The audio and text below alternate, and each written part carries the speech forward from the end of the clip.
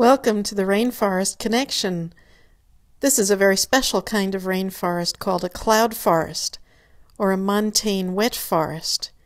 And like other rainforests, it's very wet, has very high species diversity, and it has lots of interactions among the species. We have plants growing on top of plants. We call these epiphytes. They're plants that grow on leaves and those are epiphylls. There are symbioses between species. There's lots of decay and decomposition going on that rapidly puts the nutrients back into the plants. And there are many special adaptations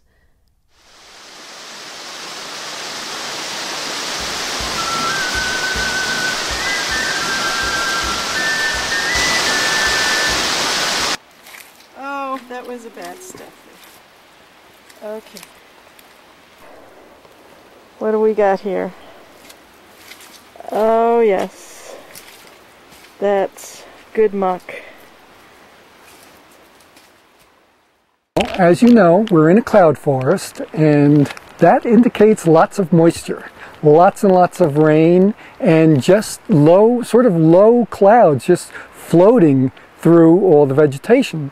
And you can see how dense all this vegetation is with all the mosses and epiphytes and all these large leaf plants it's uh, very, very dense and very, very tough to see things in.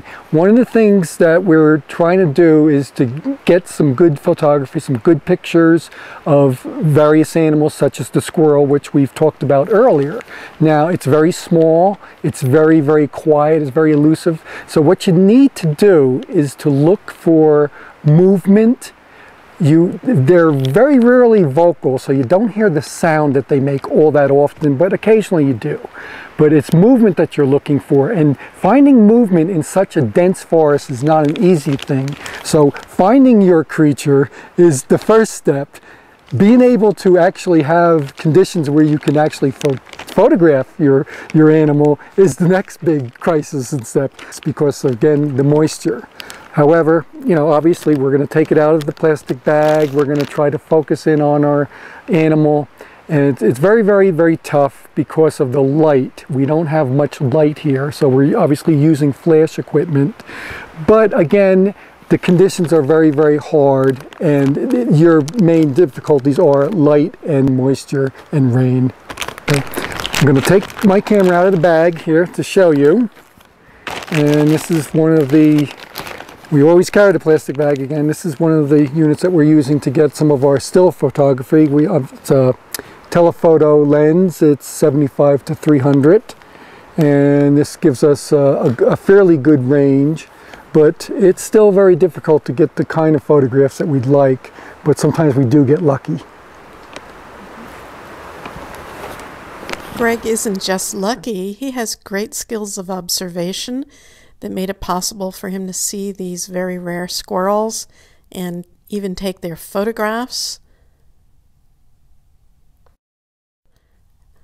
The ability to look carefully and observe is very important to scientists. Yeah. Makes it possible to find strange things, makes it possible to see sloths like this sloth way high the tops of trees. This is a two-toed sloth. You can see the greenish color around its face where algae grow in its fur. Sometimes it helps to have a trap and catch the animals and release them because otherwise they might not be visible. And we use special cameras like this automatic video camera that records when we're not there. We hope you'll learn more about the rainforests of the world through the Rainforest Connection. See you there online. Bye bye.